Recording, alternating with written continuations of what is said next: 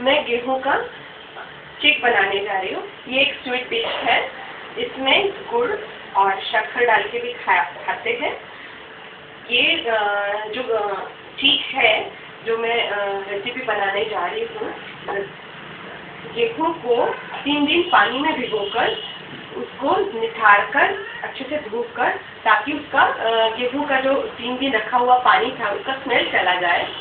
फिर वो मिक्सर में पीस कर उसका फाइबर निकाला और फिर वो छन्नी से छानते हुआ। ये जो है, वो छन्नी से छाना हुआ चिप है। मैं अभी इसकी रेसिपी बनाने जा रही हूँ। ये चार ग्लास चिक है और छः ग्लास पानी लेना है।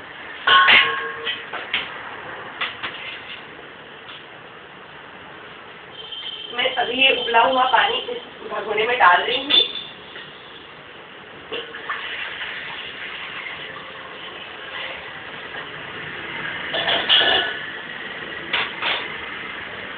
ये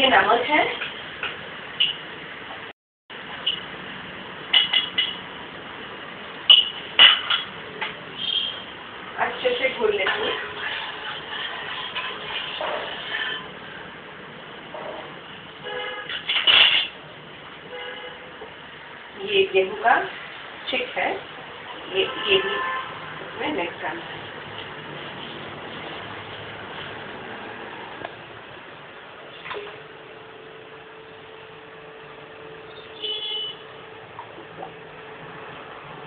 चिकट होता है।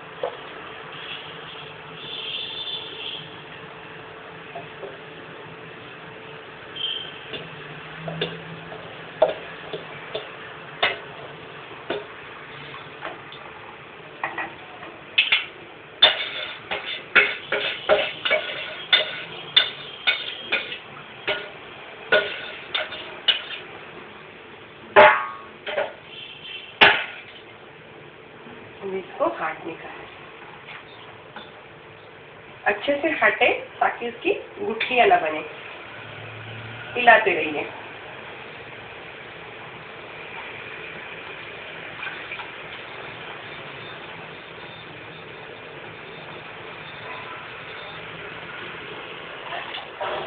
बर्तन को इकट्ठा है तो उसको ज़ोर से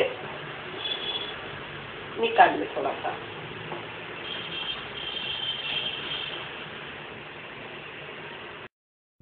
ये चिक बहुत गाढ़ा बन गया है, इसको अच्छे से हाटने का है। नीचे से बिल्कुल चिपकने नहीं देना है। इसका रंग भी काफ़ी अच्छा बदल रहा है येलो रहा है।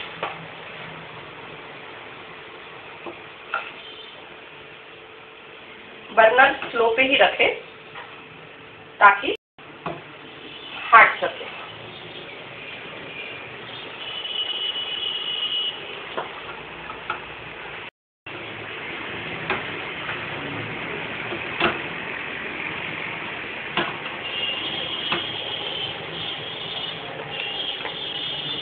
ये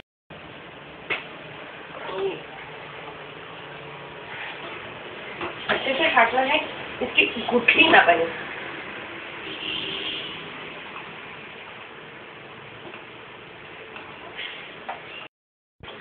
ये देखिए, गाढ़ा ठीक बनते जा रहा है।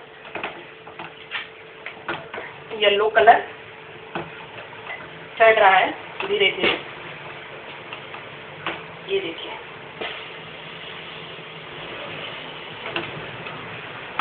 अच्छे से एक बार मैं काट लेती हूँ और इसको चम्मच को निकाल के थोड़ी देर के लिए धीमी गैस पे भाप आने तक चढ़ा के रखें। ये गेहूँ का चीक बन गया है। अभी इसमें इस कटोरी में मैंने थोड़ा सा चीक लिया है। अभी मैं इसकी स्वीट डिश बनाऊँगी। ये दूध है, मलाई वाला। अच्छे से मिक्स करना है। इसमें थोड़ा सा गुड़, शक्कर भी यूज़ कर सकते हैं।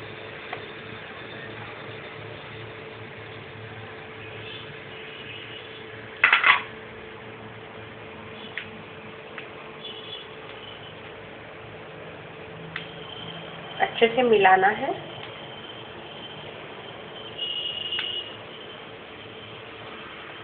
ताकि स्वाद सभी जगह से मीठा स्वाद आए।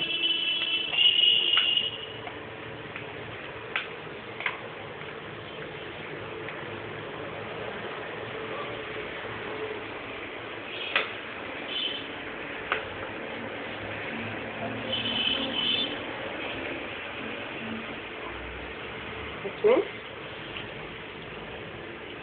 गार्निश के लिए काजू। के टुकड़े हैं। बादाम डाले हुए ये का। ये इलायची का पाउडर है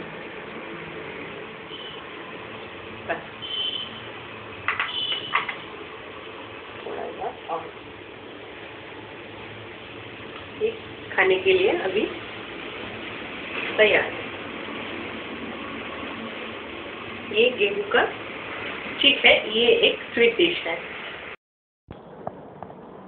ये हेल्दी रेसिपी है, गेहूँ के आटे की थिक